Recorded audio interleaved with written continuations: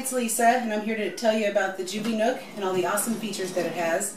If you are shopping for a high chair, this is the high chair that has everything. First of all, you want a high chair that's easy to use. This one, the tray, one-handedly slides open.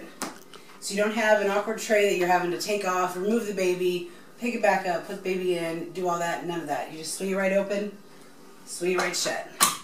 When it comes to cleaning, Another easy task, the tray has an insert, comes right off, throw the dishwasher.